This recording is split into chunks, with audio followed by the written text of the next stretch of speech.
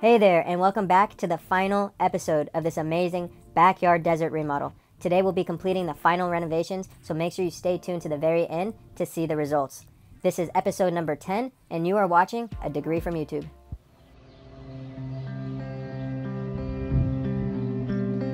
What you are looking at right now is the backyard before we actually broke ground and got started on this amazing project.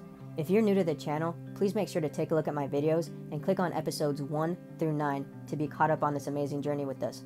Or you can take a look at my playlist and find Amazing Backyard Makeover, and YouTube will actually catch you up on the entire series so you can see how we got to where we are today. On day 29, unlike last episode where we installed artificial grass, it was time to actually plant some live vegetation to add to this backyard environment. Throughout this episode, you'll see us plant over 60 plants and trees, which will really make this backyard stand out in the end.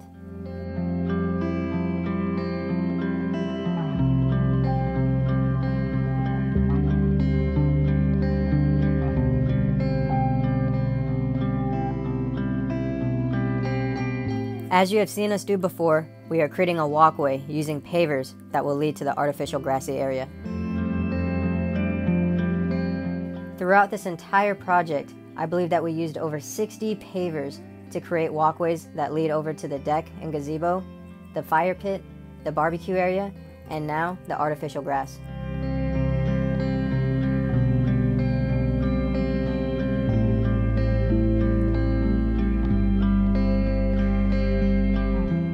Later that night, it was time to get started on some garden landscaping. My plan was to plant vegetation all along the paver walkways throughout the entire yard, and even all around the perimeter along the fencing.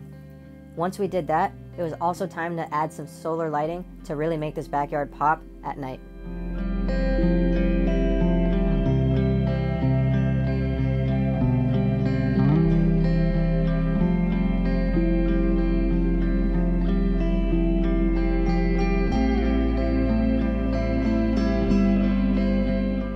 Day 30 of the project, we got a little bit of a late start due to the immense heat we had, although we continued with the garden landscaping and finished just on time for the final day tomorrow.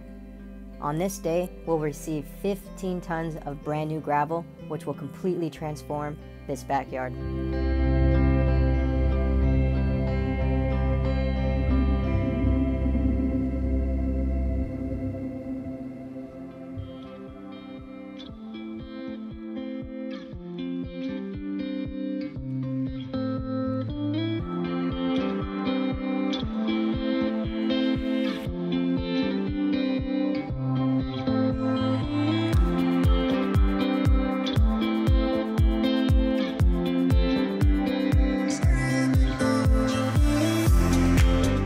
On this final day of this amazing backyard remodel, we received 15 tons of pewter gray gravel to spread throughout the entire yard.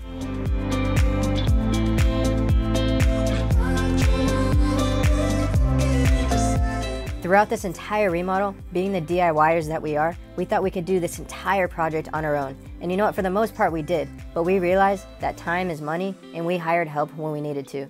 Especially on this day, we had a crew of five amazing guys come and help us spread out this gravel, and this is not an easy job to do. And you know what? They did an amazing job, and I'm so happy that we hired help.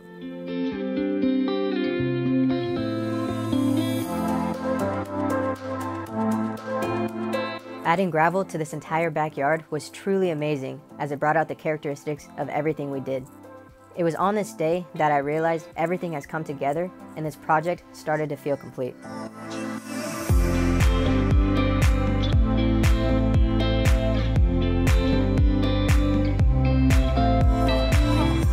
While the rest of the gravel was being spread out, I decided to do a little bit of a last minute project and put up some redwood fencing to cover the water heater, the air conditioning condenser, and the irrigation line, which seemed to me to be a bit of an eyesore and I didn't want it to take away from the rest of the backyard.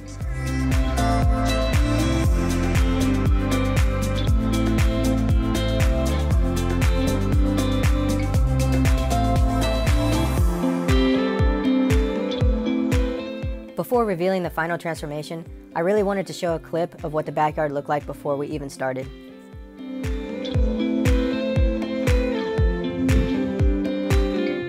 And here we go. Here's the final transformation of this amazing backyard makeover. And you know what? I'm truly happy with the results. And I want to know what you guys think. Let me know what you guys think in the comments below.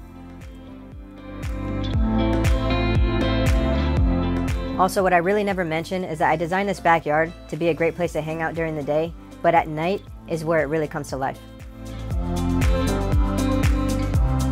As soon as we started planting vegetation in this backyard, it seemed to come to life as nature invited all types of birds, squirrels, and even cicada that seemed to love this tree. Take a listen.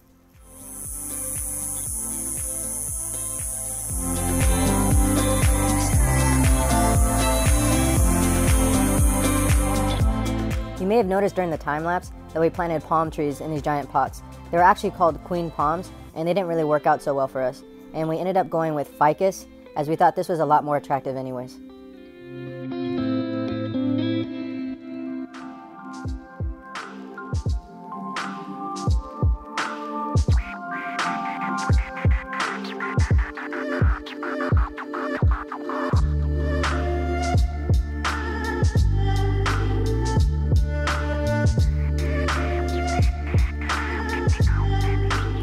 Once again, if you are brand new to this channel, this floating picture frame deck, the gazebo sitting on top of it, all the vegetation you see out in the distance, along with the sunshade sails, the custom redwood bench sitting around the fire pit, the artificial grass and barbecue area are all a part of projects done in this backyard makeover. If you're interested in knowing how to do any of this for yourself, please do not hesitate to take a look at prior episodes of this series.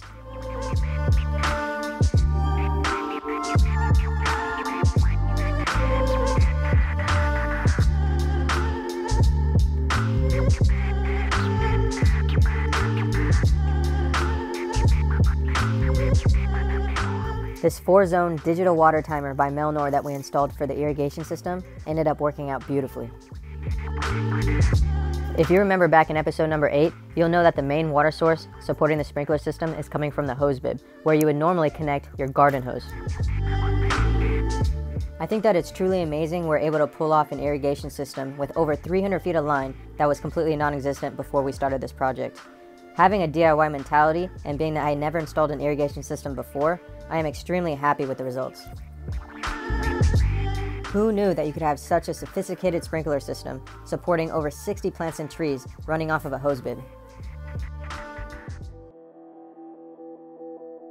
As the day went on, it became a bit overcast, although I started to take some pictures, and as night began to fall, the true beauty of this backyard came to light.